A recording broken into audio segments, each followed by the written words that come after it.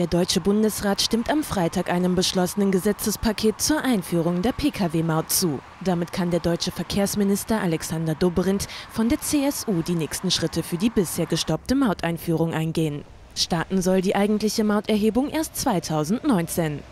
Verkehrsminister Jörg Leitfried von der SPÖ fordert im Vorfeld den Bundesrat in Berlin auf, das Projekt zu stoppen und die diskriminierende Ausländermaut zu Fall zu bringen. Eigentlich ist dieses Vorhaben schon seit 2015 beschlossene Sache. Da Brüssel aber ein Verfahren wegen der Verletzung des EU-Rechtes gegen Deutschland eröffnet, liegt das Gesetz die letzten Monate auf Eis. Deutschland wird die Benachteiligung von Fahrern aus dem Ausland vorgeworfen. Denn nur Inländer werden für die Mautzahlungen über eine geringere Kfz-Steuer vollständig entlastet.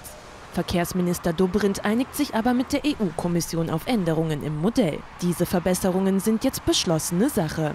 Konkret werden die Preise der Kurzzeittarife für Fahrer aus dem Ausland stärker unterschieden. Inländer mit abgasarmen EU6-Autos werden als Ausgleich für Mautzahlungen um 100 Millionen Euro zusätzlich bei der Kfz-Steuer entlastet.